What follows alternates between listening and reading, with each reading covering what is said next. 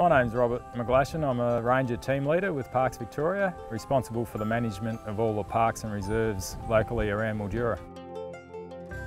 Parks Victoria manages about a 4 million hectare estate and about 18,000 assets. And those assets could be picnic tables to bollards to signposts.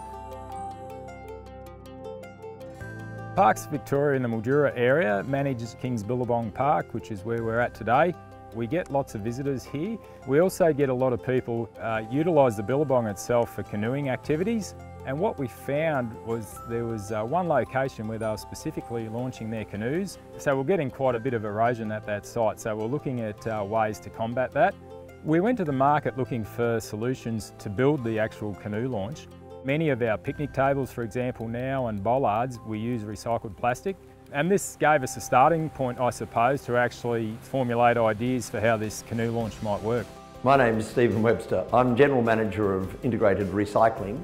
We're the manufacturer of composite recycled plastic products. We take waste materials that would otherwise be destined for landfill and repurpose them for new uses.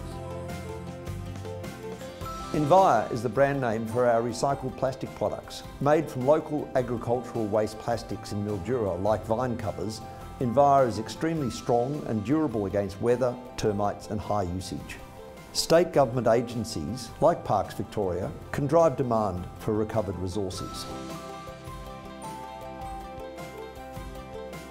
Together with Parks Victoria, we used our Envia range to develop a canoe launcher for King's Billabong here in Mildura. We're using the characteristics of recycled plastics to deliver a durable, high quality product. There are multiple uh, benefits to having the canoe launcher. We don't have boats and people climbing in and out directly up against the, the earthen bank. Secondly, it allows people of all abilities the opportunity to launch their boat safely. And it's also beneficial to the environment to be able to recycle the huge amount of waste that gets generated each year and, and utilise these plastic products. I think the King's Billabong canoe launcher here at Mildura is a fantastic project.